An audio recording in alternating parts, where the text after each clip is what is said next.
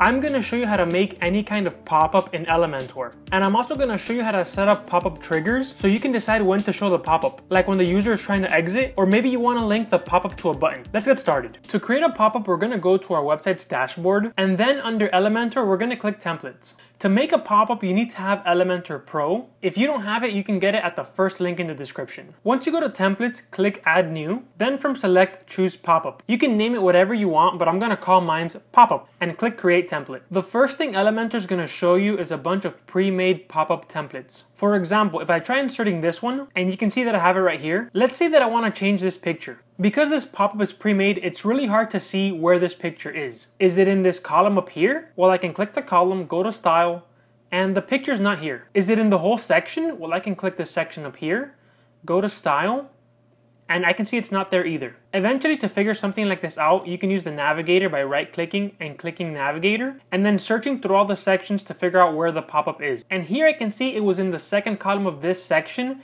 so there's actually two sections overlapped here, which is really confusing. That's why it's not a good idea to always use templates. Instead, I'm going to show you how to make a pop-up from scratch. So I'm going to go ahead and undo all of this to start from scratch. From here, you can make a pop-up the same way you would make an Elementor section. By default, your pop-up is in the middle, but maybe you want it to be in the footer or on the left-hand side or right-hand side. To control that, simply go to settings down here. And then here where it says position, you can control if it's on the left or if it's at the top and its height. So it can be fit to content, or fit to screen, and also its width. So like this, you could have a side pop-up, or here in position, you could choose the bottom, take off fit to screen to fit content, and then make it wider, and then set it to 100%, and that way you could have a bottom one, like if you want to have a cookies pop-up. But for this example, let's just build a regular pop-up. So let me go back and undo all of this and go back to all my elements. So we can just create a normal pop-up by clicking the plus, picking a section, and then we can drag and drop in some elements like a heading. And I'm just gonna say something like wait, because I want this pop-up to show up when the user is about to leave my website. So we'll set this to center. And now let's add a background. So we can go here to the section settings, and then here under height, let's set up a minimum height. And from vertical height, let's pick a good size here. So maybe like this. And now let's plug in a background. So we can just go to style, and go to background image and select an image and let's just pick one and click insert and then we can set our settings to center and cover for the size and let's configure this text color I'm assuming that you already have a pretty good idea of how to use Elementor itself maybe just need help with the pop-up builder so now we're gonna make this a little bit bigger. And then maybe we can add a little subheading. For example let's duplicate this. Uh, let's write get our get our best offer. And let's make this text a little bit smaller.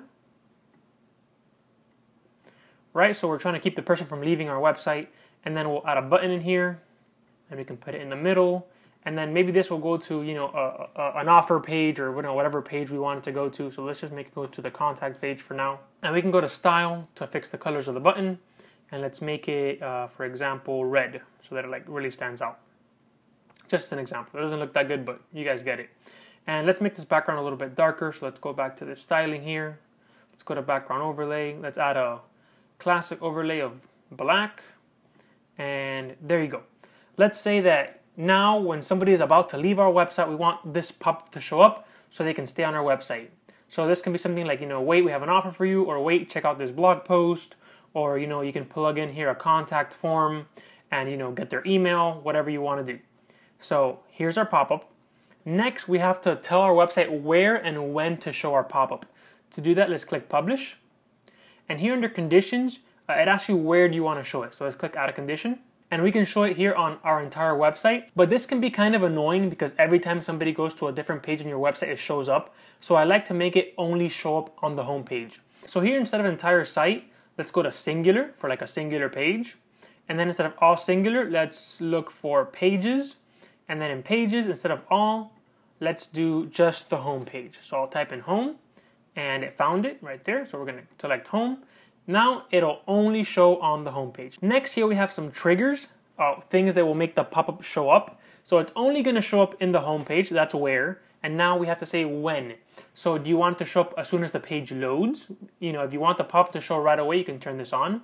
You want it to show up when somebody scrolls down. Do you want it to show up when they click on a specific, you know, widget or element? When they click on some part of the website after a few minutes or on page exit intent. Now, pop-ups are really annoying to most users. So I like using on exit intent because this means that the person is already about to leave your website.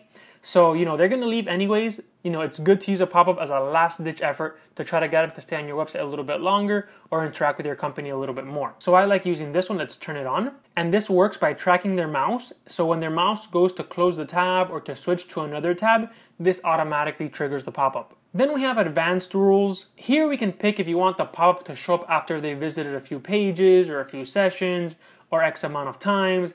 And it can be really complicated and specific. Um, this part is not really useful unless you're like tracking your users with a cookie or something like that. So I usually leave this blank. So we have our conditions and our triggers set up. Now we can click next. And finally click save and close. Let's preview it by clicking this little eyeball here. All right, so that's the preview, but we wanna see it in action. So let's close out of here and let's go back to our regular website. Okay, so here's our website and the pop-up is supposed to show up when we're about to exit our website. So if I take my mouse and I move it here like I'm gonna close the tab, there you go, our pop-up shows up automatically. That's exactly what we want and the person gets the offer. Now in all the options we saw, it didn't really show how to connect your pop-up to a button. Maybe on your website you have an offer button or a, a contact button or somewhere where you want them to click and then a pop-up to show up. So how do you configure that? Well, back in your pop-up, if you want your pop-up to show up only when they click a button, all you have to do is go back here to this little arrow to display conditions, and all these conditions, just turn them off. Just put exclude, you know, exclude entire site. So this means do not show my pop-up automatically at all. And then for triggers, turn this off. We don't want the website to automatically trigger the pop-up in any way, shape, or form. We're gonna connect it to a button. So we're gonna have everything blank, just like this. And then we're gonna click next and next and save and close. And now we see the pop-up doesn't show up anymore. So we can close out of here. And this is how you link it to a button. So I'm gonna link the pop-up to this contact button. And you know, you can even put a contact form in your pop-up. So to do that, all you have to do is edit the page where the button is. So you can drag and drop in a new button or use a button that already exists. I'm gonna use the contact button. So let's click this contact button here. And then here I had it set up with a contact link, but let's erase this link and erase the word contact. You can put whatever you want here, you know. Maybe you want to put like offer or, you know, contact, whatever you want to say. But here's the important part. You're going to click right here on this little cylinder that says dynamic tags, and then you're going to scroll down to actions and choose pop-up. And then you're going to see that it says pop-up. Next, you're going to click this little gear and under action, it's gonna say open pop-up, but we want it to open a specific pop-up. So let's click here where it says all, and you have to search the name of your pop-up. Remember, I called my pop-up pop-up, but you can call yours whatever you want. So let's just search for that. And here I found up my pop-up template, the one that I named pop-up. So we're gonna choose that one. And there it is. And now we're gonna click update and let's preview it and go back to our website. So here's our website, here's our button, and when we click it, our pop-up shows up. That's how you create pop-ups and link them to buttons. Please remember to like this video if you liked it. Leave any question you have in the comments. Please subscribe and have a great day.